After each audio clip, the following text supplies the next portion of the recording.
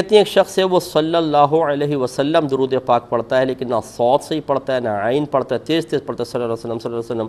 इसी तरह नमाज़ में उसको तजवीद नहीं आती, वो बग़ैर तजवीद के नमाज़ पढ़ता है, क्या उसकी नमाज़ हो जाएगी कि नहीं? देखें कुरान पढ़ने के लिए, क़राअत के लिए तजवीद को फ़र्ज़ करार दिया है, लिहाजा उनके लिए सीखना वाजिब है, वो सीखें। जब तक वो सीखते रहेंगे, गलतियाँ होती रहेंगी, अल्लाह ताला मुआफ़ फरमाएगा। लेकिन ज़माना कोशिश के अलावा अगर सुस्ती कर रहे हैं, सीख नहीं रहे और फिर कोई माना फासद हो जाता है, फिर भी मैं ये नहीं कह रहा हूँ कि अगर कोई सीखता नहीं है तो जो कुरान पढ़ रहा है, गलती पढ़ रहा है। ये वबाल उस वक्त होगा जब कोई ऐसा गलत पढ़ देगा कि माना का फसाद हो जाएगा फिर वो गुनागार होगा। इसलिए एहतियात इसी में है कि तजवीज़ सीखी जाए।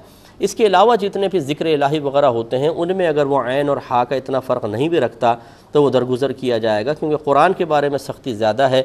उसमें मसाइल हो सकते हैं, क्योंकि अल्लाह का कलाम है। बाकी हदीस पढ़ते हुए दृश्य पढ़ते हुए होना तो चाहिए कि सौद और आयन अच्छा निकाले, लेकिन नहीं भी निकालेगा तो उसकी गुंजाइश निकल सकती है।